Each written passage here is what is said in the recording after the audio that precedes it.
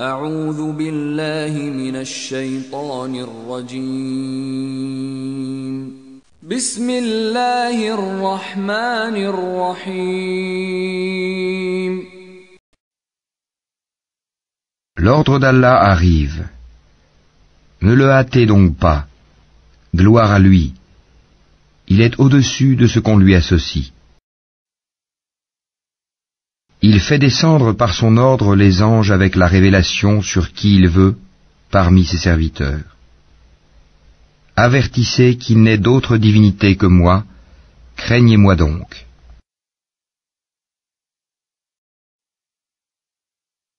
Il a créé les cieux et la terre avec juste raison. Il transcende ce qu'on lui associe. Il a créé l'homme d'une goutte de sperme, et voilà que l'homme devient un disputeur déclaré. Et les bestiaux, il les a créés pour vous. Vous en retirez des vêtements chauds ainsi que d'autres profits, et vous en mangez aussi. Ils vous paraissent beaux quand vous les ramenez le soir et aussi le matin quand vous les lâchez pour le pâturage. Et ils portent vos fardeaux vers un pays que vous n'atteindriez qu'avec peine. Vraiment votre Seigneur est compatissant et miséricordieux. Pour que vous les montiez et pour la para. Et il crée ce que vous ne savez pas. Il appartient à Allah, par sa grâce, de montrer le droit chemin, car il en est qui s'en détache. Or, s'il voulait, il vous guiderait tous. C'est lui qui du ciel a fait descendre de l'eau qui vous sert de boisson, et grâce à laquelle poussent des plantes dont vous nourrissez vos troupeaux.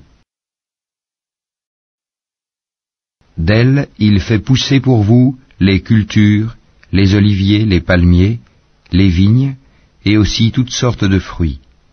Voilà bien là une preuve pour des gens qui réfléchissent. Pour vous, il a assujetti la nuit et le jour, le soleil et la lune, et à son ordre sont assujettis les étoiles. Voilà bien là des preuves pour des gens qui raisonnent. Ce qu'il a créé pour vous sur la terre a des couleurs diverses. Voilà bien là une preuve pour des gens qui se rappellent. Et c'est lui qui a assujetti la mer afin que vous en mangiez une chair fraîche et que vous en retiriez des parures que vous portez.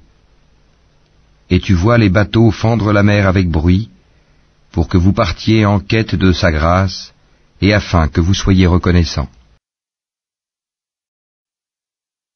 Et il a implanté des montagnes immobiles dans la terre, afin qu'elles ne branlent pas en vous emportant avec elles, de même que des rivières et des sentiers, pour que vous vous guidiez. Ainsi que des points de repère, et au moyen des étoiles les gens se guident. Celui qui crée est-il semblable à celui qui ne crée rien? Ne vous souvenez-vous pas? Et si vous comptez les bienfaits d'Allah, vous ne saurez pas les dénombrer, car Allah est pardonneur et miséricordieux. Et Allah sait ce que vous cachez et ce que vous divulguez. Et ceux qu'ils invoquent en dehors d'Allah ne créent rien, et ils sont eux-mêmes créés. Ils sont morts et non pas vivants, et ils ne savent pas quand ils seront ressuscités. Votre Dieu est un Dieu unique. Ceux qui ne croient pas en l'au-delà, leur cœur nie l'unicité d'Allah, et ils sont remplis d'orgueil. Nul doute qu'Allah sait ce qu'il cache et ce qu'il divulgue, et assurément il n'aime pas les orgueilleux. Et lorsqu'on leur dit, Qu'est-ce que votre Seigneur a fait descendre? ils disent, Des légendes anciennes. Qu'ils portent donc au jour de la résurrection tous les fardeaux de leurs propres œuvres ainsi qu'une partie des fardeaux de ceux qu'ils égarent sans le savoir. Combien est mauvais le fardeau qu'ils portent.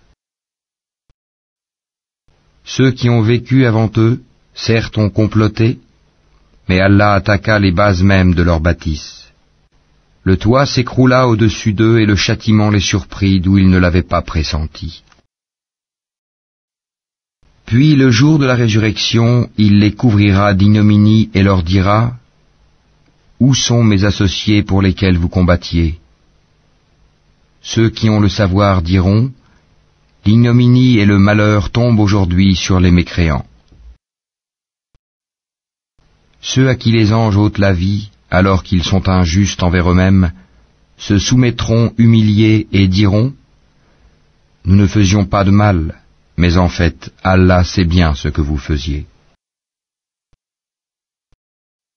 Entrez donc par les portes de l'enfer pour y demeurer éternellement, combien est mauvaise la demeure des orgueilleux. Et on dira à ceux qui étaient pieux, Qu'a fait descendre votre Seigneur? Ils diront un bien. Ceux qui ont fait les bonnes œuvres auront un bien ici-bas, mais la demeure de l'au-delà est certes meilleure. Combien agréable sera la demeure des pieux. Les jardins du séjour éternel où ils entreront et sous lesquels coulent les ruisseaux, ils auront là ce qu'ils voudront. C'est ainsi qu'Allah récompense les pieux. Ceux dont les anges reprennent l'âme alors qu'ils sont bons, les anges leur disent, Paix sur vous, Entrez au paradis pour ce que vous faisiez. Les infidèles attendent-ils que les anges leur viennent ou que survienne l'ordre de ton Seigneur? Ainsi agissaient les gens avant eux. Allah ne les a pas lésés, mais ils faisaient du tort à eux-mêmes. Les méfaits qu'ils accomplissaient les atteindront, et ceux dont ils se moquaient les cernera de toutes parts. Et les associateurs dirent, Si Allah avait voulu, nous n'aurions pas adoré quoi que ce soit en dehors de lui, ni nous ni nos ancêtres, et nous n'aurions rien interdit qu'il n'ait interdit lui-même. Ainsi agissaient les gens avant eux. N'incombe-t-il au messager sinon de transmettre le message en toute clarté? Nous avons envoyé dans chaque communauté un messager pour leur dire Adorez Allah et écartez-vous du tagut. Alors Allah en guida certains, mais il y en eut qui ont été destinés à l'égarement. Parcourez donc la terre et regardez quelle fut la fin de ceux qui traitaient nos messagers de menteurs. Même si tu désirais ardemment qu'ils soient guidés, sache qu'Allah ne guide pas ceux qui s'égarent. Ils n'auront pas de secoureur. Et ils jurent par Allah en prononçant leurs serments les plus solennels. Allah ne ressuscitera pas celui qui meurt, bien au contraire, c'est une promesse véritable de sa part, mais la plupart des gens ne le savent pas. Il les ressuscitera afin qu'il leur expose clairement ce en quoi ils divergeaient, et pour que ceux qui ont mécru sachent qu'ils ont été des menteurs. Quand nous voulons une chose, notre seule parole est soit, et elle est et ceux qui, pour la cause d'Allah, ont émigré après avoir subi des injustices, nous les installerons dans une situation agréable dans la vie d'ici-bas, et le salaire de la vie dernière sera plus grand encore s'ils savaient. Eux qui ont enduré et placé leur confiance en leur Seigneur. Nous n'avons envoyé avant toi que des hommes auxquels nous avons fait des révélations. Demandez donc aux gens du rappel si vous ne savez pas. Nous les avons envoyés avec des preuves évidentes et des livres saints. Et vers toi nous avons fait descendre le Coran pour que tu exposes clairement aux gens ce qu'on a fait descendre pour eux et afin qu'ils réfléchissent. Ceux qui complotaient des méfaits sont-ils à l'abri de ce qu'Allah les engloutisse en terre ou que leur vienne le châtiment d'où ils ne s'attendaient point? Ou bien qu'il les saisisse en pleine activité sans qu'ils puissent échapper au châtiment d'Allah? Ou bien qu'il les saisisse en plein effroi? Mais vraiment votre Seigneur est compatissant et miséricordieux. N'ont-ils point vu que les ombres de toutes choses qu'Allah a créées s'allongent à droite et à gauche, en se prosternant devant Allah en toute humilité Et c'est devant Allah que se prosterne tout être vivant dans les cieux et sur la terre, ainsi que les anges qui ne s'enflent pas d'orgueil. Ils craignent leur Seigneur au-dessus d'eux et font ce qui leur est commandé. Allah dit, Ne prenez pas deux divinités, il n'est qu'un Dieu unique, donc ne craignez que moi. C'est à lui qu'appartient ce qui est dans les cieux et sur la terre. C'est à lui que l'obéissance perpétuelle est due. Craindriez-vous donc d'autre qu'Allah? Et tout ce que vous avez comme bienfait provient d'Allah. Puis, quand le malheur vous touche, c'est lui que vous implorez à haute voix. Et une fois qu'il a dissipé votre malheur, voilà qu'une partie d'entre vous se met à donner des associés à leur Seigneur, Méconnaissant ainsi ce que nous leur avons donné, jouissez donc pour un temps, bientôt vous saurez. Et ils assignent une partie des biens que nous leur avons attribués à des idoles qu'ils ne connaissent pas. Par Allah, vous serez certes interrogés sur ce que vous inventiez. Et ils assignent à Allah des filles, gloire et pureté à lui, et à eux-mêmes cependant ils assignent ce qu'ils désirent des fils. Et lorsqu'on annonce à l'un d'eux une fille, son visage s'assombrit et une rage profonde l'envahit. Il se cache des gens à cause du malheur qu'on lui a annoncé. Doit-il la garder malgré la honte ou l'enfouira-t-il dans la terre? Combien est mauvais leur jugement. C'est à ceux qui ne croient pas en l'au-delà que revient le mauvais qualificatif qu'ils ont attribué à Allah, tandis qu'à Allah seul est le qualificatif suprême. Et c'est lui le Tout-Puissant, le Sage. Si Allah s'en prenait aux gens pour leurs méfaits, il ne laisserait sur cette terre aucun être vivant. Mais il les renvoie jusqu'à un terme fixé, puis quand leur terme vient, ils ne peuvent ni le retarder d'une heure, ni l'avancer. Et ils assignent à Allah ce qu'ils détestent pour eux-mêmes.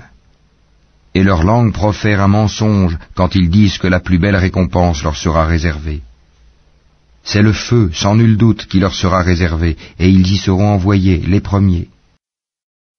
Par Allah, nous avons effectivement envoyé des messagers à des communautés avant toi. Mais le diable leur enjoliva ce qu'il faisait.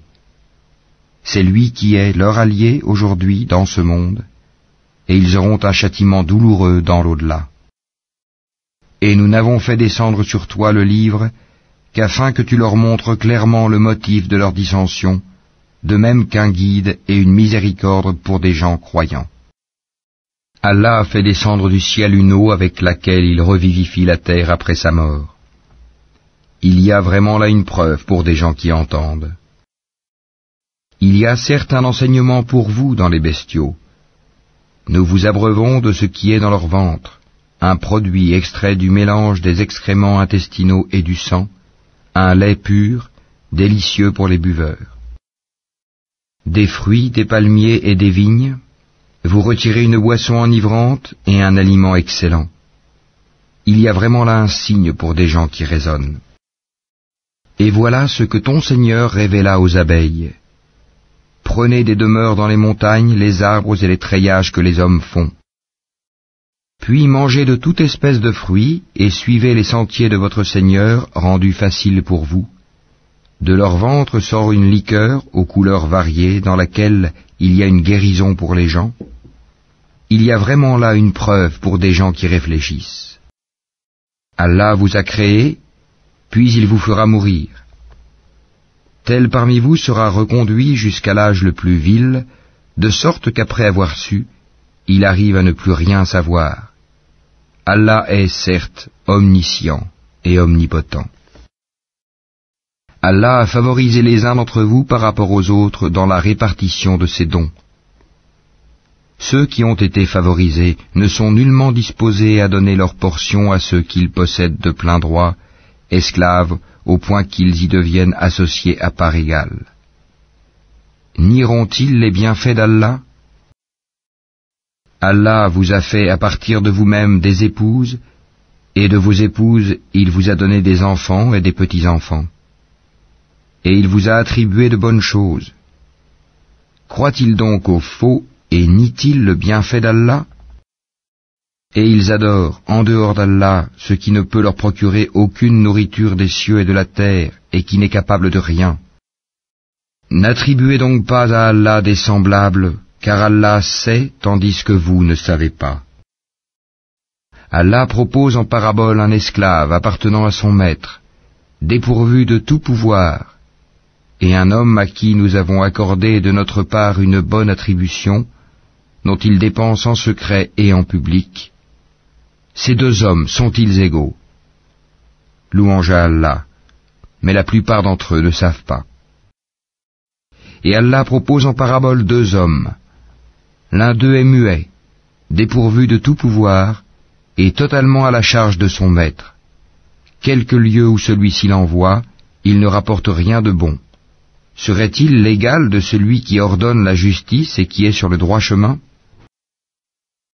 C'est à Allah qu'appartient l'inconnaissable des cieux et de la terre, et l'ordre concernant l'heure ne sera que comme un clin d'œil, ou plus bref encore, car Allah est certes omnipotent. Et Allah vous a fait sortir des ventres de vos mères dénués de tout savoir, et vous a donné l'ouïe, les yeux et les cœurs, l'intelligence, afin que vous soyez reconnaissants. N'ont-ils pas vu les oiseaux assujettis au vol dans l'atmosphère du ciel sans que rien ne les retienne en dehors d'Allah? Il y a vraiment là des preuves pour des gens qui croient. Et Allah vous a fait de vos maisons une habitation, tout comme il vous a procuré des maisons faites de peaux de bêtes que vous trouvez légères, le jour où vous vous déplacez et le jour où vous vous campez. De leur laine, de leur poils et de leurs crins, il vous a procuré des effets et des objets dont vous jouissez pour un certain délai. Et de ce qu'il a créé, Allah vous a procuré des ombres. Et il vous a procuré des abris dans les montagnes et il vous a procuré des vêtements qui vous protègent de la chaleur, ainsi que des vêtements, cuirasses, armures, qui vous protègent de votre propre violence. C'est ainsi qu'Allah parachève sur vous son bienfait, peut-être que vous vous soumettez. S'il se détourne, il ne t'incombe que la communication claire. Ils reconnaissent le bienfait d'Allah, puis ils le renient et la plupart d'entre eux sont des ingrats. Et rappelle-toi, le jour où de chaque communauté nous susciterons un témoin, on ne permettra pas aux infidèles de s'excuser, et on ne leur demandera pas de revenir sur ce qui a provoqué la colère d'Allah. Et quand les injustes verront le châtiment, on ne leur accordera ni allègement ni répit. Quand les associateurs verront ceux qu'ils associaient à Allah, ils diront Ô notre Seigneur, voilà nos divinités que nous invoquions en dehors de toi. Mais leurs associés leur adresseront la parole. Vous êtes assurément des menteurs. Ils offriront ce jour-là à Allah la soumission, et ce qu'ils avaient inventé sera perdu pour eux. Ceux qui ne croyaient pas et obstruaient le sentier d'Allah, nous leur ajouterons châtiment sur châtiment pour la corruption qu'ils semaient sur terre. Et le jour où dans chaque communauté nous susciterons parmi eux-mêmes un témoin contre eux, et nous t'emmènerons, Mohammed, comme témoin contre ceux-ci, et nous avons fait descendre sur toi le livre, comme un exposé explicite de toutes choses, ainsi qu'un guide, une grâce et une bonne annonce aux musulmans. Certes, Allah commande l'équité, la bienfaisance et l'assistance aux proches, et il interdit la turpitude, l'acte répréhensible et la rébellion, il vous exhorte afin que vous vous souveniez. Soyez fidèles au pacte d'Allah après l'avoir contracté et ne violez pas vos serments après les avoir solennellement prêtés et avoir pris Allah comme garant de votre bonne foi. Vraiment, Allah sait ce que vous faites. Et ne faites pas comme celle qui défaisait brin par brin sa quenouille après l'avoir solidement filée, en prenant vos serments comme un moyen pour vous tromper les uns les autres, du fait que vous avez trouvé une communauté plus forte et plus nombreuse que l'autre. Allah ne fait par là que vous éprouver. Et certes, il vous montrera clairement au jour de la résurrection ce sur quoi vous vous opposiez. Si Allah avait voulu, il aurait certes fait de vous une seule communauté, mais il laisse s'égarer qui il veut et guide qui il veut, et vous serez certes interrogés sur ce que vous faisiez. Et ne prenez pas vos serments comme un moyen pour vous tromper les uns les autres, sinon vos pas glisseront après avoir été fermes, et vous goûterez le malheur pour avoir barré le sentier d'Allah, et vous subirez un châtiment terrible et ne vendez pas à vil prix le pacte d'Allah. Ce qui se trouve auprès d'Allah est meilleur pour vous, si vous saviez. Tout ce que vous possédez s'épuisera, tandis que ce qui est auprès d'Allah durera. Et nous récompenserons ceux qui ont été constants en fonction du meilleur de ce qu'ils faisaient. Quiconque, mâle ou femelle, fait une bonne œuvre tout en étant croyant, nous lui ferons vivre une bonne vie et nous les récompenserons, certes, en fonction des meilleurs de leurs actions. Lorsque tu lis le Coran, demande la protection d'Allah contre le diable banni. Il n'a aucun pouvoir sur ceux qui croient et qui placent leur confiance en leur Seigneur. Il n'a de pouvoir que sur ceux qui le prennent pour allié et qui deviennent associateurs à cause de lui.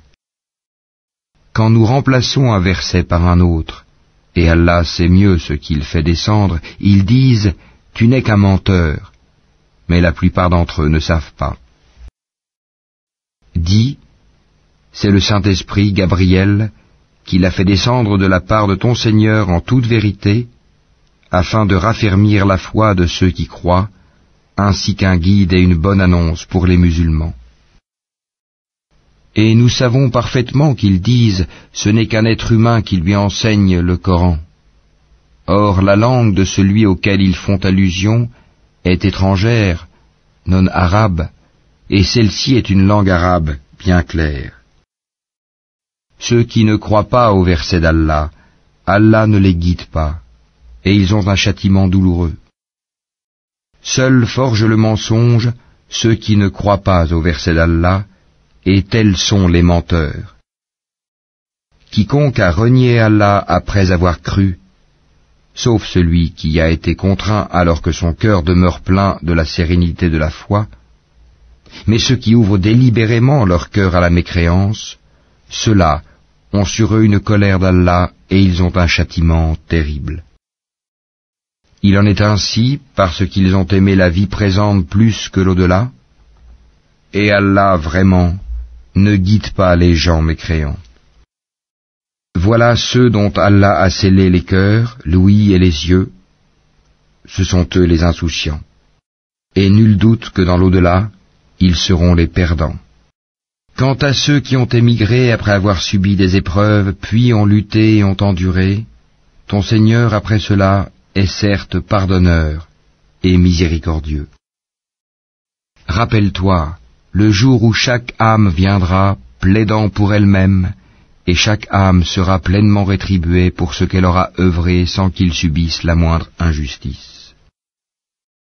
Et Allah propose en parabole une ville, elle était en sécurité, tranquille, sa part de nourriture lui venait de partout en abondance, puis elle se montra ingrate au bienfait d'Allah.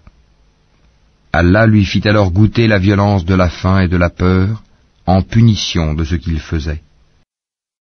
En effet, un messager des leurs est venu à eux, mais ils l'ont traité de menteur. Le châtiment donc les saisit parce qu'ils étaient injustes. Mangez donc de ce qu'Allah vous a attribué de licite et de bon, et soyez reconnaissants pour les bienfaits d'Allah si c'est lui que vous adorez. Il vous a en effet interdit la chair de la bête morte, le sang, la chair de porc, et la bête sur laquelle un autre nom que celui d'Allah a été invoqué. Mais quiconque en mange sous contrainte, et n'est ni rebelle ni transgresseur, alors Allah est pardonneur et miséricordieux. Et ne dites pas, conformément aux mensonges proférés par vos langues, ceci est licite et cela est illicite, pour forger le mensonge contre Allah. Certes, ceux qui forgent le mensonge contre Allah ne réussiront pas. Ce sera pour eux une piètre jouissance, mais un douloureux châtiment les attend. Aux Juifs, nous avions interdit ce que nous t'avons déjà relaté. Nous ne leur avons fait aucun tort, mais ils se faisaient du tort à eux-mêmes. Puis ton Seigneur, envers ceux qui ont commis le mal par ignorance et se sont par la suite repentis et ont amélioré leur conduite, ton Seigneur après cela est certes pardonneur et miséricordieux. Abraham était un guide, Ouma parfait. Il était soumis à Allah, voué exclusivement à lui, et il n'était point du nombre des associateurs. Il était reconnaissant pour ses bienfaits, et Allah l'avait élu et guidé vers un droit chemin. Nous lui avons donné une belle part ici-bas, et il sera certes dans l'au-delà du nombre des gens de bien. Puis nous t'avons révélé, suis la religion d'Abraham qui était vouée exclusivement à Allah et n'était point du nombre des associateurs. Le sabbat n'a été imposé qu'à ceux qui divergeaient à son sujet. Au jour de la résurrection, ton Seigneur jugera certainement au sujet de ceux dont ils divergeaient. Par la sagesse et la bonne exhortation, appelle les gens au sentier de ton Seigneur, et discute avec eux de la meilleure façon, car c'est ton Seigneur qui connaît le mieux celui qui s'égare de son sentier, et c'est lui qui connaît le mieux ceux qui sont bien guidés. Et si vous punissez, infligez à l'agresseur une punition égale au tort qu'il vous a fait. Et si vous endurez, cela est certes meilleur pour les endurants. Endure, ton endurance ne viendra qu'avec l'aide d'Allah. Ne t'afflige pas pour eux, et ne sois pas angoissé à cause de leur complot. Certes, Allah est avec ceux qui l'ont craint avec piété, et ceux qui sont bienfaisants.